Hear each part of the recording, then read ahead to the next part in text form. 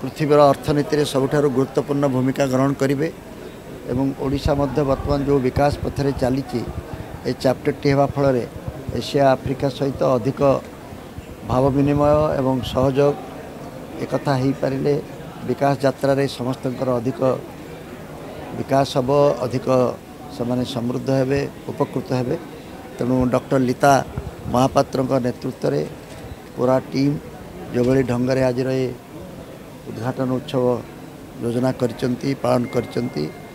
ସେଥିରୁ ତାଙ୍କର ନିଷ୍ଠା ଏବଂ ତାଙ୍କର ରୁଚି ଏବଂ ତାଙ୍କର ସାମର୍ଥ୍ୟ ସମ୍ପର୍କରେ ସୂଚନା ମିଳୁଛି। ମୁଁ ବହୁତ ଆଶାବାଦୀ ଯେ ଏ ଅନୁଷ୍ଠାନଟି ଆମର ବ୍ୟବସାୟିକ ସମ୍ପର୍କକୁ ଏସିଆ ଓ ଆଫ୍ରିକା ସହିତ ବୃଦ୍ଧି କରିବାରେ ସହାୟକ ହେବ।